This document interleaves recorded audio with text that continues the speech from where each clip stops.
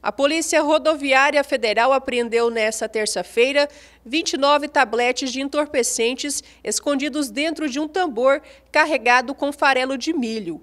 O fato foi registrado no quilômetro 514 da BR-158, no município de Canarana. Os tabletes de maconha e pasta base de cocaína foram localizados após abordagem policial.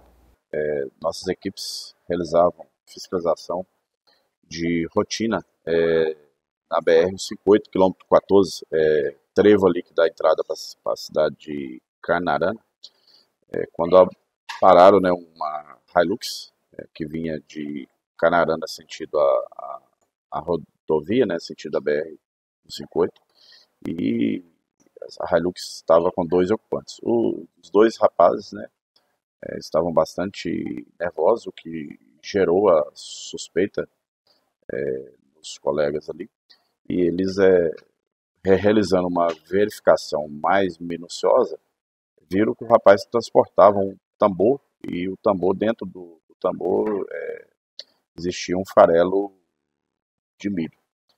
E mexendo ali, o pessoal é, encontrou misturado né, no farelo de milho mais de 20 quilos é, de droga, né, entre pasta base e rachixe.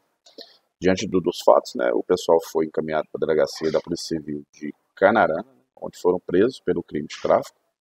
E chegando lá também, é, o pessoal descobriu que os rapazes estavam utilizando documentação falsa. Foram presos também pelo crime de documento falso. É, sendo que eles possuem uma extensa ficha criminal, né?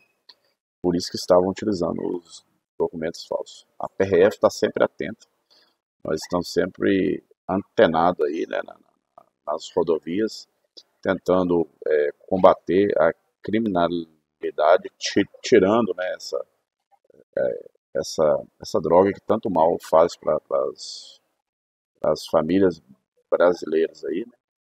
é, podem contar com a PRF sempre. Estamos prontos né, e, e atentos aí.